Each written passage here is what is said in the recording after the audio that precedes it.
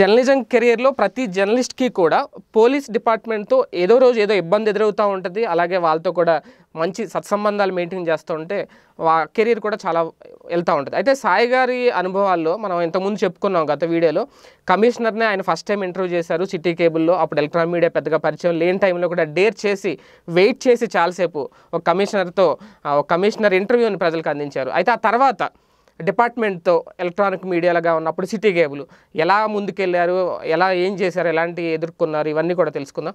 Sir police డిపార్ట్మెంట్కి అప్పట్లో city కేబుల్కి మధ్య ఎలా చేసింది? ఆ కమిషనర్ ఇంటర్వ్యూ తర్వాత ఎలాంటి ప్రాబ్లమ్స్ ఏమైనా ఫేస్ చేశారా? లేదంటే సక్సెస్ఫుల్ జర్నీ సాగిందా? అసలు ఏమైంది?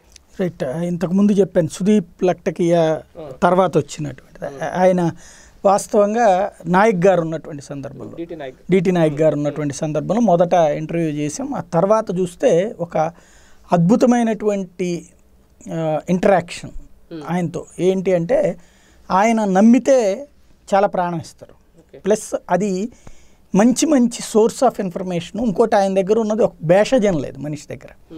తొందరగా కలిసిపోతారు. ఆ తర్వాత నేను కెరీర్లో చాలామంది ఐపీఎస్లు చూసాను చాలా ఒక్కళ్ళిద్దరు తప్పించి ఐఏఎస్లు ఐపీఎస్లు ఏదో చేయాలని ఉంటుంది. వాళ్ళకి సమాజంకి ఏదో అన్యాయం చేయాలని ఉండదు. కాకపోతే వాళ్ళతో ఇంటరాక్ట్ అయ్యేటువంటి వాళ్ళ దీని మీద ఆధారపడి అదే నాయక్ గారు కొన్ని మనకి ఇన్ఫర్మేషన్స్ అయ్యో అనుకుంటున్నవి ఉంటాయి నానుడి. అలాంటివి చెప్తే తీసుకునే action. For example Gandhinagar railway station చుట్టుపక్కల ఏరియాలో పెద్ద ఎత్తున లాడ్జీలు. అప్పుడు విపరీతం. ఇప్పటికంటే కూడా పబ్లిక్ క్రౌడ్ అది విపరీతంగా ఉండేటువంటి సందర్భం. అక్కడ ఆ లాడ్జీల దగ్గర ప్రాస్టిట్యూషన్ జరుగుతుంది. ఇది ఆ, అక్కడ ఏంటి ఎవరు ఇది మనకి చెప్పింది? మనం ఏదో రోడ్డు మీద స్టోరీలు చేయడానికి వెళ్ళినప్పుడు అక్కడ భార్యాభర్తలతో వెళ్ళిన వాళ్ళు ఇబ్బంది పడినటువంటి సందర్భంలో చెప్పినటువంటి అంశం.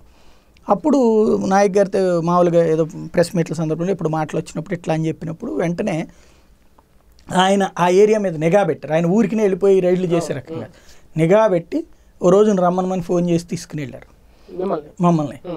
సిటీ కేబుల్ టీంని మొత్తం మేము కెమెరా తీసుకుని పోయాం. పోతే ఒక ఇట్లాగా గోడ ఉంటుంది. ఆ గోడ మామూలుగా మనకు చూస్తే గోడే. ఆ గోడ లోపల ఒక అర.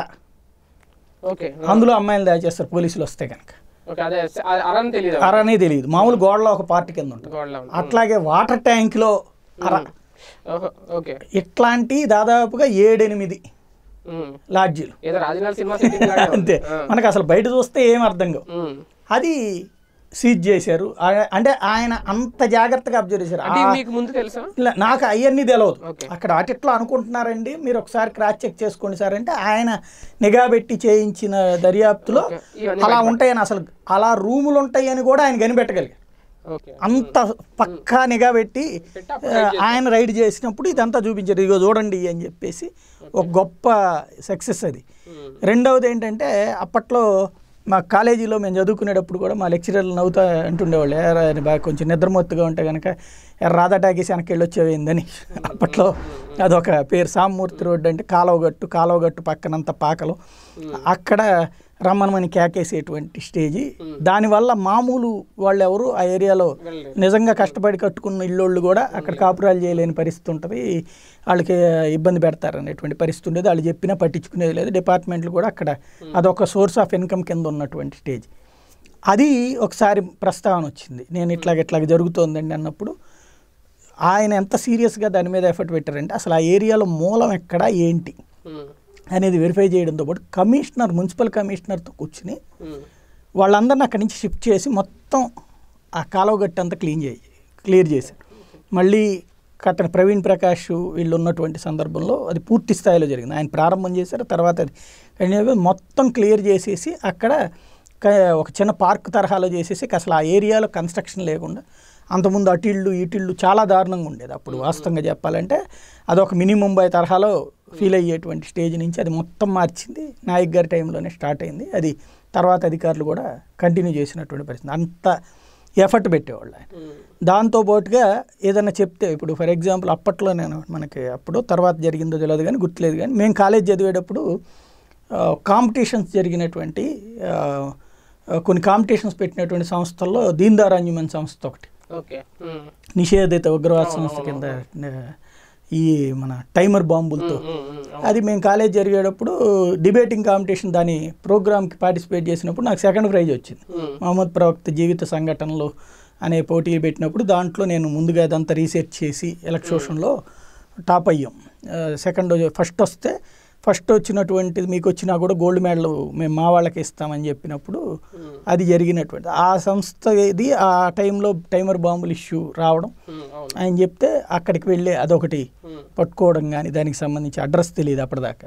అదొకటి కానీ అట్లాగే ఆల్ ఖైదా అనుకుంటా అప్పుడు సంథింగ్ ఒక ఇంకొకటి టెర్రరిస్ట్ గ్రూప్ సంబంధించిన వాళ్ళు. భవానీపురంలో మేము ఏదో స్టోరీ చేయడానికి వెళ్ళినప్పుడు హౌసింగ్ బోర్డు కాలనీ దగ్గరలో అక్కడ తలుపు కొట్టి అడిగేవాళ్ళం. లోప మీకు ఈ ఏరియాలో సమస్యలు ఉన్నాయి. ఎందుకంటే మనం ముందుగా ఎవరైనా పార్టీ వాళ్ళ దగ్గరికి వెళ్తే వాళ్ళు ఏదో కథలు చెప్తారు. ఉమ్, ఉమ్, అలా ఓ తలుపు కొడుతుంటే ఆ తలుపు వాళ్ళు తీరయ్యా నీకు అని చెప్పారు.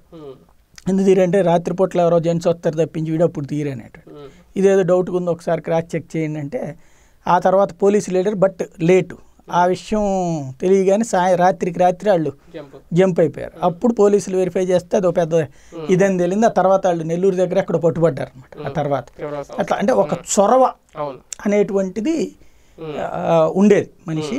ఆయన బెజవాడ రౌడీయిజం నియంత్రణ ఒక యాంగిల్ రౌడీలని పట్టుకుని బాధేది కానీ ఆ వ్యవహారాలని తేల్చడం కానీ రౌడీ షీటర్లని రోడ్డు మీద కట్టేపిచ్చి జనాలకి ప్రొజెక్ట్ చేయడం ద్వారా రౌడీలు అంటే భయం లేకుండా చేయడం కానీ అట్లాంటి ఒక అద్భు అవన్నిట్లో కూడా మనం అప్పుడు చూపించేటువంటి ఇది ఉండేది ఆయన దీంతో. ఆ విధంగా పోలీస్ డిపార్ట్మెంట్ అనేటువంటి దాంతో మనం పాజిటివ్గా ఉంటే మంచిగా వార్తలు ప్రొజెక్ట్ చేయొచ్చు. నెగిటివ్గా దాంట్లో పెద్దగా చేయడానికి ఏమి ఉండదు.